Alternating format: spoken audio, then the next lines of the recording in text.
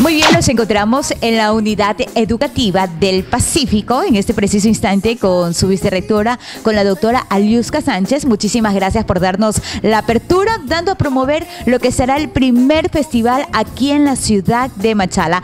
Canta conmigo, un festival antidrogas que ya se lo ha venido dando eh, desde la ciudad de Guayaquil durante algunos años y hoy le toca a la provincia de Lora. Bienvenida. Muchísimas gracias a ustedes por eh, facilitarnos también la oportunidad de eh, aportar con nuestro granito de arena en eventos de tanta importancia como este que se está organizando. ¿Cómo ve la iniciativa de este tipo de eventos para los jóvenes?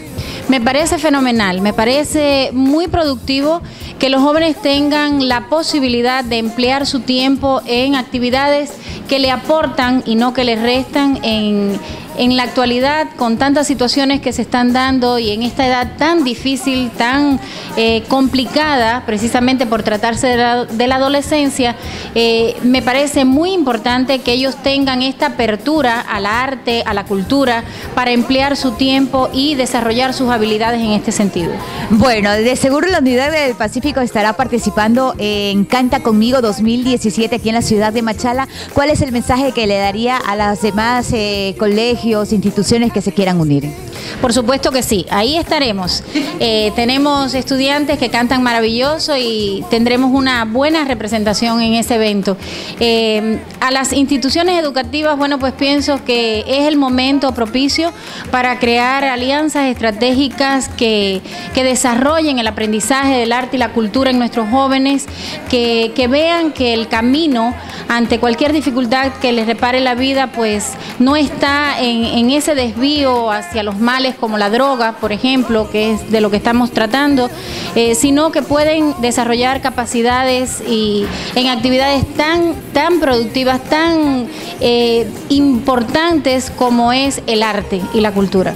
¿Y el mensaje a los padres de familia para que apoyen a sus hijos?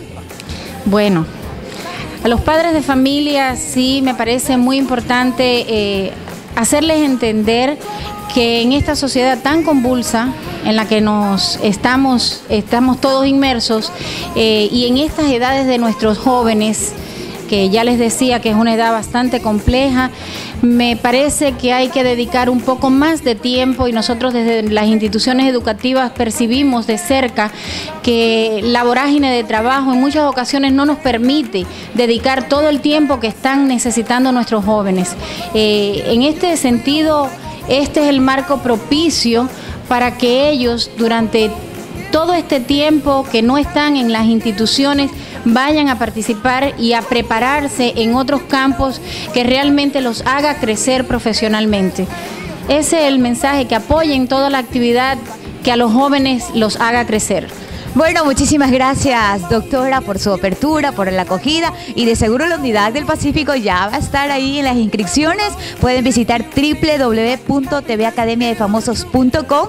Así que muchísimas gracias por brindarnos también su cariño, su confianza a TV Academia de Famosos desde la ciudad de Guayaquil.